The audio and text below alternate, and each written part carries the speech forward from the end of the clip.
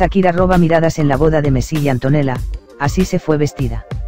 Se suponía que era un boda, pero la colombiana quiso impactar, además la mamá de Messi hizo de las suyas en la fiesta. Los que iniciaron el mes de julio convertidos en marido y mujer fueron Lionel Messi y Antonella Rotcuzo, pareja que se juró amor eterno en una ceremonia por el civil en Rosario, Argentina, evento al que finalmente sí asistió Shakira y Piqué y la colombiana terminó robando miradas y opacando a la novia.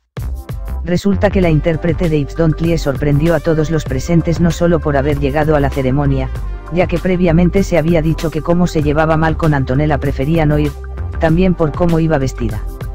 Y es que mientras todos los invitados llevaban atuendos elegantes y peinados extravagantes, dignos de la recepción que Messi y Antonella les brindaron, Shakira no le puso empeño a lo que llevaba puesto y ni al peinado le atinó.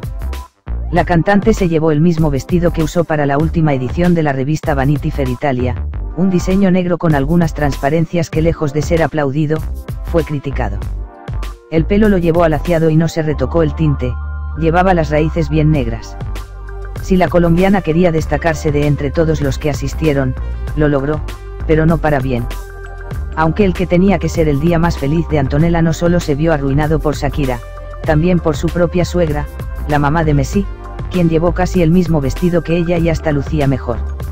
Suscríbete al canal, aquí tu dosis diaria de las novedades de tus estrellas favoritas, chismes sobre la música, cine, moda y más.